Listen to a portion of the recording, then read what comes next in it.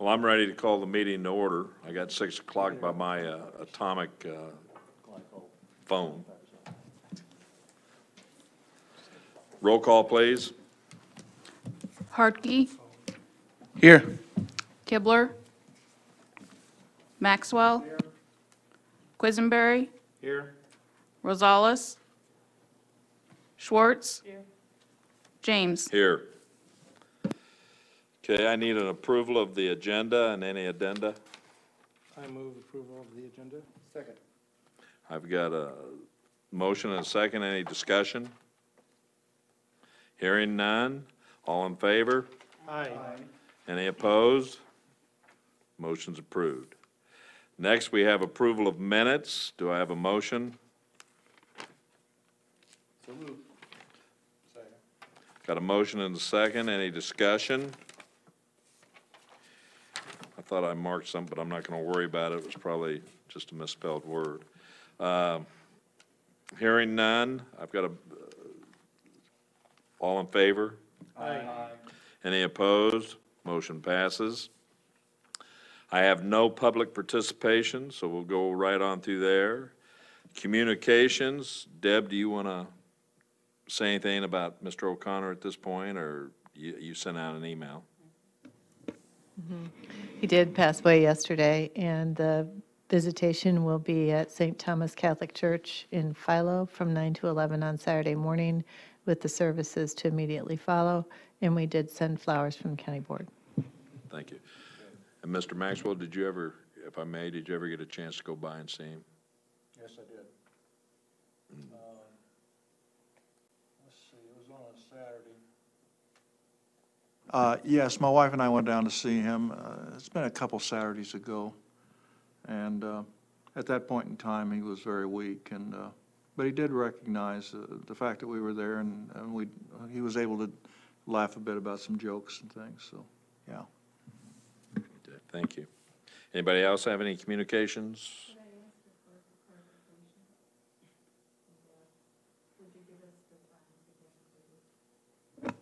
Actually, I have this courtesy of Gary Maxwell, but the times are 9 to 11 a.m. Saturday morning, and the service will be at 11. Okay, so we'll move on to the next. We have a request for approval for release of the invitation to bid 2014-008, uh, ITB 2014-008, installation of boilers, air handlers, and digital controls at the Brookens Administration Center. And do we have a motion? I so move. Second?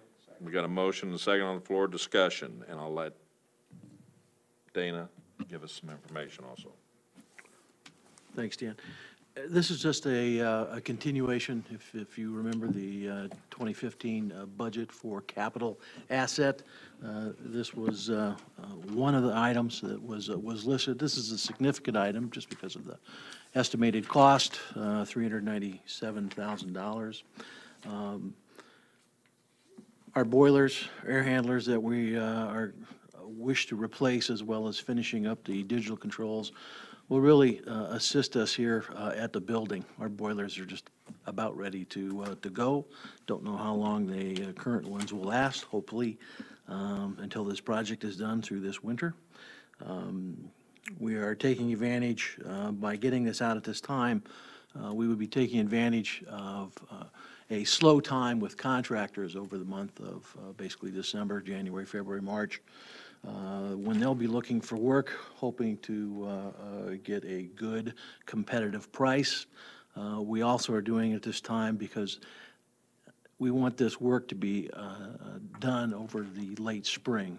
We'll allow the contractors to actually start with the, with the larger pieces of equipment, the boilers, the air handlers, March 23rd. Uh, Project needs to be done by May 1st. Uh, does give them enough time. Uh, They can come in the building prior to that, certainly stretch out conduit and uh, uh, start stringing stuff uh, along to get this, the project completed in a timely manner. The May 1st, uh, besides getting it done and getting ready for warm weather, May 1st uh, also allows us enough time to complete the DCEO paperwork. We've already received prior approval for a grant up to about $120,000. It's in the document, I believe. Um, uh, We will file for that as soon as the project is done, uh, but it has to be on file uh, in their office prior to May 8th uh, to make sure that we get uh, uh, the dollars for this fiscal year uh, for DCEO. So, Dana, yes, sir. the 120 is for the current project, not the I'm uh, sorry. boilers. Yes, uh, I apologize. Uh, I believe that's $40,000 for uh, this project. Um, uh, There, unfortunately, uh, not as much uh, return uh, from DCEO on uh, uh, the boilers and air handlers as uh, they were for the project we're currently doing, so. Any questions? Okay, we got a motion and a second. All those in favor? Aye. Any opposed? Hearing none, this moves on. Okay, next is we have the Facilities Director. In re- order that it gets released at this point, right? Yeah, it goes out. Yes. Yeah. I just wanted to clarify what I- moves on meant. Okay, thank you. Thank you for clarifying, Mr. Quisenberry. Uh, Next is Facilities Director's Report. Uh, Dana, you want to take those? Yep. Uh, Quick update on the Brookens Administrative Center Energy Efficiency Project. Uh, If you'll remember, Alpha Controls was issued a contract on August 22nd of this year um, to implement ventilation improvements, digital control upgrades for multi-zone units, fan coils, et cetera. Um, it is designed, and uh, we anticipate uh, having an energy return, energy savings of about 27% with electric and gas. Uh, The project uh, is costing $139,000, uh, with the DCEO uh, has already given us approval for up to $120,000. Uh, Obviously significant and helpful in uh, helping furnish other projects uh, down the road for us uh, in terms of uh, capital asset. Um, Alpha's been here uh, at Brookens since October 1st. Uh, During that time, they've uh, uh, started with their communications network. All their controllers, uh, everything that they're putting in is wireless, so they've got to build a wireless network within the building. Uh, uh, They've already put in their server. Um, This week, they actually started on uh, air handlers number uh, five and six, putting in controls and, uh, and running signal cable uh, and uh, uh, control cables, rather. Uh, As well as, uh, next week, they'll start with two more, four and five, the following week, one and two. Um, They shall complete this project by December 24th. Um, It's important uh, for us to get it done then as well, so we are pushing them uh, so that we can uh, uh, file with the DCEO for our grant money, uh, which we hoped and anticipate receiving by the end of January, middle part of February at the latest. Thank you. Questions? Hearing none, I'll move on. Uh, Brookens Generator Project. Uh, Barbara Diatley was issued a contract on uh, September 16th. Uh, The cost of that was uh, $79,000 and some change to uh, construct, to build and install basically a uh, backup power generator for IT services. We currently have none in the building here at Brookens. Uh, As uh, a number of you saw as we took a tour in Brookens uh, five, six months ago, uh, we were in dire need of, uh, of putting in a a backup system since all uh, computer uh, operations flow through Brookens as well as the communications for court, sheriff's office, and so forth. Um, GHR was hired to design the work. That was done um, about 10 months ago. Uh, And then we hired them as well to uh, run the project, uh, to put the bid document together. Um, That price was 10400 Um, We negotiated that price with them uh, when we had an estimate that the uh, cost was going to be in excess of about 130 or $40,000. Uh, When we bid it out, it was, came in at $79,000 great for us. Uh, However, we already negotiated a contract with, with GHR, but they've been terrific uh, to work with and doing a great job with following up with, uh, with the contractor. Uh, Contractor's been very busy. They started uh, October 1st here in the building, pulling conduit. You don't see it in the hallways as you walk by because it's uh, being run uh, above the ceiling. Uh, They've got to move uh, a conduit to to the outside, uh, underneath basically where uh, IT services is. They've drilled through the uh, floor. Uh, There's a subsequent document that's a field report that was just taken uh, from this week. Gives you a little indication of uh, what's transpired with some uh, photos uh, that I laid out on your uh, desks prior to the meeting. Uh, But things are going great uh, with Barbara Diatley, their uh, electrician, and it differs on the uh, report. Um, uh, Lucas McGill, uh, the engineer with GHR, has got another um, project that he's working on, who's using Anderson um, electricians. And uh, this project here at uh, Brookens, we're using Aladdin. Uh, They were part of the Barbara Diatley team, so apologize for the air, but I just caught that uh, walking into the room. Uh, Completion for the generator should be uh, December 12th. Um, I say should be. Uh, We anticipate uh, that everything will be done by then, uh, but we still do not have a final date of delivery on the generator. It's been ordered. It's been ordered for a month.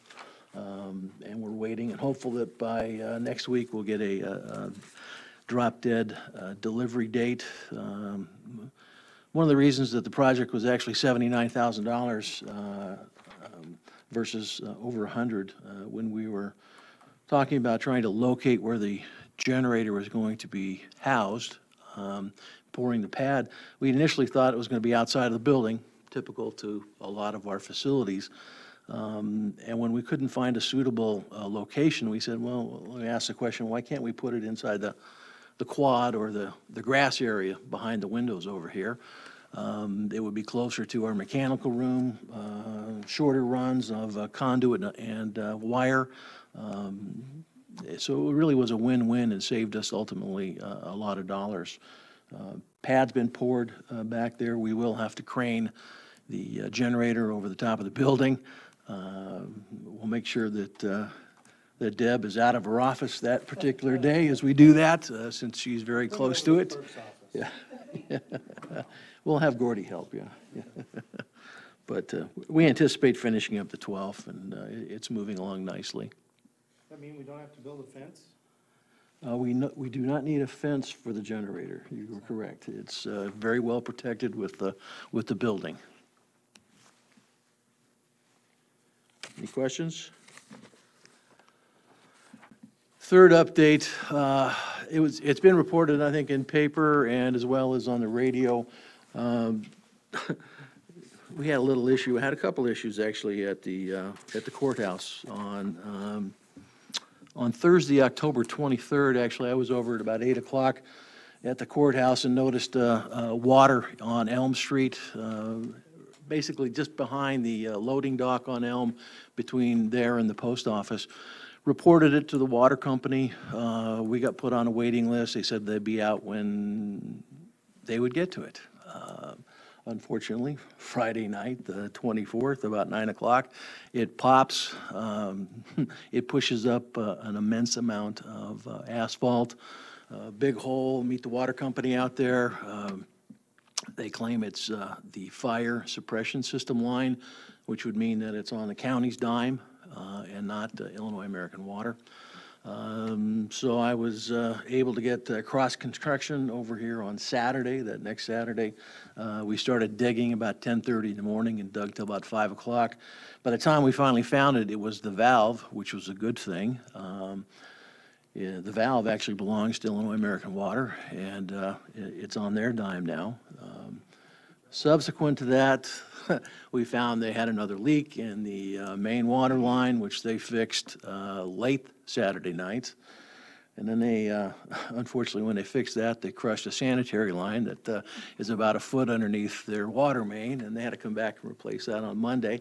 Uh, And they've had to replace a lot of street, um, which is completely done now, except the uh, painting.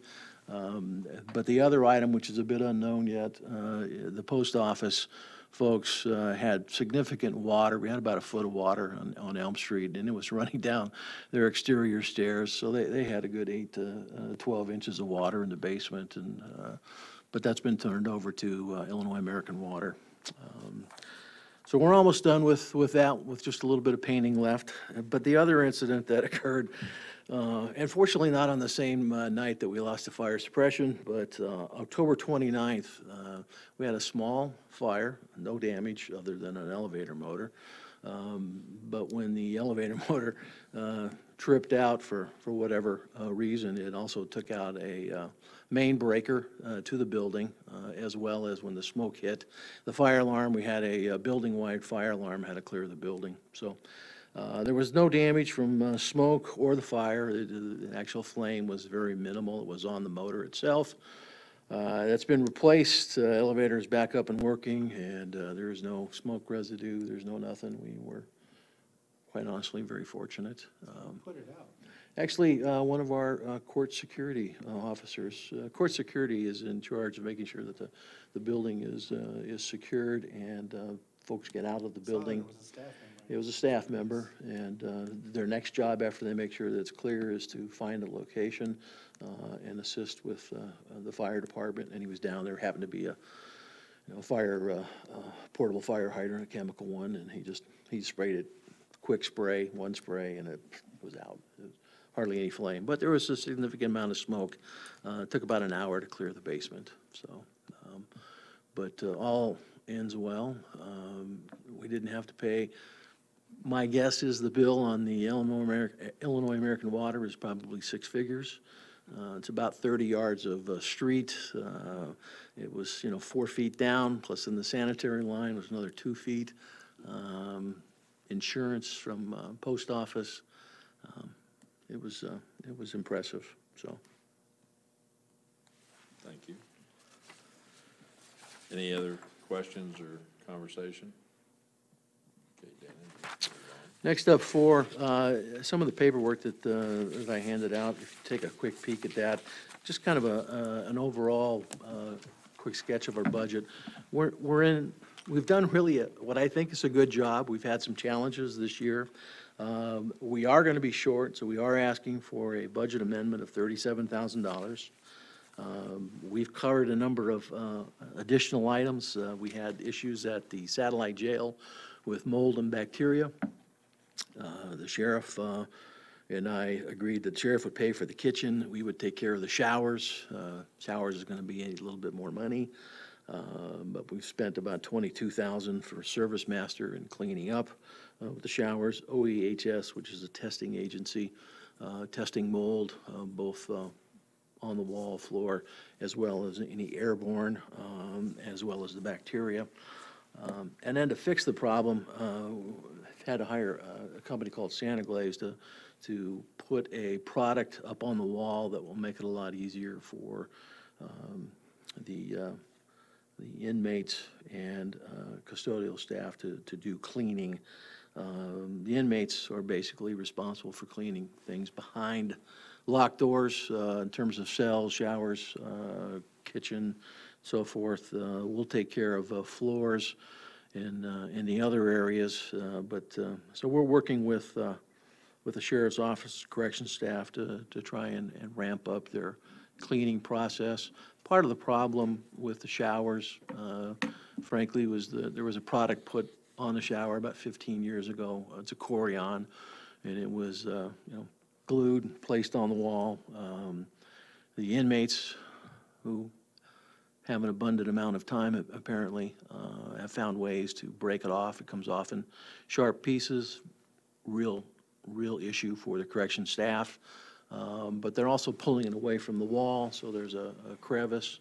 Um, It's impossible to get in there and clean, um, so we've got to remove it, uh, uh, remediate the uh, mold, bacteria, and then we're putting up a, a new product. Well, to do that, there's 23 showers in the building. We can do it basically at about three showers at a time, which is a portion of a pod, so they, they actually have to, to clear inmates out and, and, uh, you know, move around, and we've got to work around uh, their schedule and their time. So it's, it's, it can't all be done at once, so it's why it's a little bit more expensive to, uh, to do and portion out uh, as we go. Um, Another issue we've had was at the courthouse, uh, an unexpected, unplanned expense. Had a compressor that went down this summer. uh, That ended up costing us twenty-seven thousand. Um, We were able to take up, uh, within our budget, a majority of that, um, but uh, just don't have enough funds to, uh, to take care of the rest of the year without a budget amendment, so. So are you asking for a No. motion or anything? No, That'll go to finance. Yeah, just wanted to make you aware of it. On that, uh, Go ahead. mold in the shower net, or is that gonna be monitored for a while, or anybody gonna recheck that in 30, 60 days, or? Yeah, we're, we're still putting together the, uh, uh, the program um, for cleaning uh, with the kitchen uh, element. Um, Their uh, contractor, uh, Aramark Foods, is also responsible for making sure that the kitchen is clean. However, they, they use um, trustees, inmates, uh, to not only uh, help prepare the meal and serve it, but to do the cleaning. So uh, we're working with them to come up with, uh, with a better method, uh, better checking method to make sure that the cleaning process is, uh, is being followed through, and uh, we'll, uh, we'll do that as well with, with the showers. And then we anticipate coming back, you know, probably in six months, and, and hiring OEHS to come back and, and do some test samples, just to make sure that we're, we're, we're hanging in there doing it. They have not, uh, to the folks' knowledge at the corrections at Satellite Jail, they have not had an issue uh, with this uh, before. Building's been there for 18 years. Um, So we'll, When the work's all done, would there be a way that uh, the sheriff could have a staff person, maybe every three months or so, just do a visual check on them? The sheriff has re, I, I'm sure that's what's going on. The sheriff has rearranged his uh, uh, correction staff and uh, got somebody else in charge of, of taking care of, of that. And they're, that's a major part of their duty, is uh, ensuring that uh, uh, folks are doing what they're supposed to be doing with, uh, with cleaning, both in the kitchen area and, uh, and showers, so. Any other questions? I have questions for Dan. So is that transfer from general corp? What's the budget? am- I know we're not discussing it now, but just, It's a budget amendment, Right, so it is a request for additional expenditure authority in the fiscal 14 budget, which basically means it comes from fund balance. There's no revenue, there's no Right. new revenue to cover it, so it's just an additional appropriation. so there was a fund balance? So you're not transferring from a different fund? You just didn't have appropriation? No, we're not transferring, you're, we're just asking you to increase the budget authority? authority Okay. for general corporate for fiscal 14. And it's after the fact, sort of? Well, we're almost to the end of the fiscal year. Right, What- but the spending, we actually did that already? Did we already spend this amount? Yeah, well, to get through the end of the fiscal year with all of the obligations that um, physical plant has, they will need this budget amendment. I mean, I think they were trying to do what they could for as long as they could to see if they could manage all of the expenses within the budgeted authority, but it's become evident that they will not make it through the fiscal year unless they get this budget amendment because of these issues. Okay, Thanks.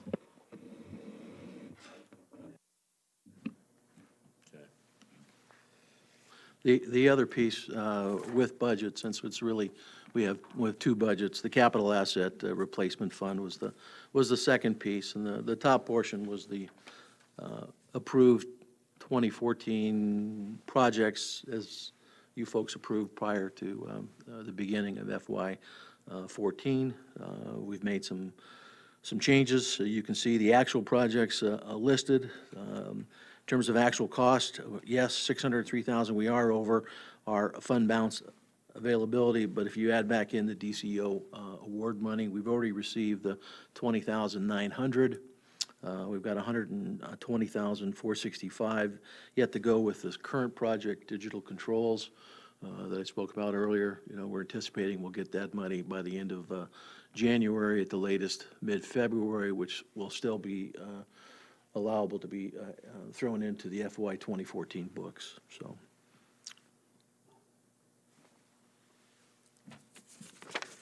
Questions? Any questions? Okay. Now your update on the, Illinois Green Business Association, we, we are finally, and uh, it, it- it's, I think we, we, we didn't take the summer off, but I think uh, we, we ended up taking a good portion of the summer and uh, part of, the part of the spring off. We did change, uh, the person who was with us uh, um, uh, as part of their organization, uh, took another job, and it wasn't until probably middle to latter part of September when uh, Cassie Carroll finally said, I'm taking uh, the county on in terms of Brookens. And so we've scheduled now um, meetings every two weeks through the end of the year, trying to wrap this thing up by, by the end of the year. Uh, Getting a lot of help, great help from uh, other entities within the building. Got representatives from, uh, from various parts. um, uh, Auditor's Office, uh, JJ is actually on the, on the Green Committee. We've got uh, um, uh, folks from RPC, uh, from the Park District, um, IT services, so we're, we're, uh, we're picking up speed, um, and, uh, you know, we should be done by the end of the year, basically, so, according to uh, Cassie's schedule. And believe me, we're going to follow it. Because I remember that being, it was supposed, I thought it was supposed to be done in December, because it was supposed to be a, a project, but that's fine. I knew there'd be some roadblocks. Any other comments, questions? Is that it, Dana? That's all I've got. Well, thank you. Other business, anybody have any other business? Mr. Hartke. I just want to say this is your last meeting as our chairman, and uh, despite our occasional disagreement, I think you've been a very fair, very open chairman. We're going to miss you. Thanks for working hard. We know you work hard for us, and we'll, we'll see you around, hopefully. I hope so. Thank you, Josh. Appreciate that. Any other comments, or anybody want to gloat over the election? No, we can't. Okay, Chair's report. Following on to what Josh just said, I, I just want to state that uh, I do enjoy this committee. Out of all the committees on the county, this is the one I've always enjoyed, even when Mr. Beckett was uh, chair. Uh, I never hardly agreed with Mr. Beckett, but he did bring some stuff to the table. I enjoy all of you that serve and, and continue to serve, and uh, Mr. Quisenberry for hanging in there for two years, because I know at first there was some, maybe not gonna hang for two years, but that's good. I, I think he came to like my style, so he stayed. Yeah, that was it. I think that's it. That's my story. And I do want to say to all the, the support staff that keep things going, meaning the maintenance men, the administrative secretaries and everybody, I don't know a lot of those folks, but without those folks, this county wouldn't operate. The administrative staff for, you know, keeping things in check and trying to keep the taxes as low as I can, I deeply appreciate that. And I know Dana stepped in, he's got a lot on his plate, it's, it's a new day, and there's a lot that needs to be done.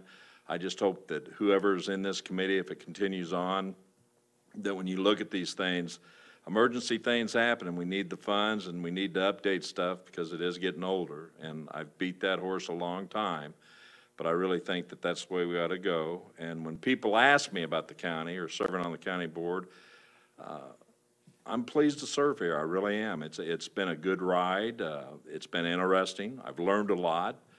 Uh, You know, when I started out, I was a grunt. I used to shovel dirt, move dirt, dig holes, redo it. Thought I was in the military for a while, and my kids even talked at one time about getting me a shirt that says, "Dad loves dirt." And I used to tell them, hold off on that because I'm going into politics. But anyway, I do enjoy it. I enjoy being around here. I'm gonna miss it a little bit, but I got four dogs to take care of and some other things I wanna do and, uh, friends I wanna visit, and who knows? Who knows where I'll be in two years? I don't know if I'll come back like Mr. Weibel is, but I might. So with that said, I do, uh, thank everybody and the staff. Uh, I deeply appreciate you all and, uh, wish you all the best. With that, designation of items to be placed on the consent agenda, number seven. No. See, I can never get out with it being correct once. No. Okay, well, no. Then I'll ask for, oh, note, Mr. Rosales walked in. I'll ask for an adjournment, please. Or a motion. Josh. Josh and, and, and Mr. Rosales. All in favor? Aye. Thank you.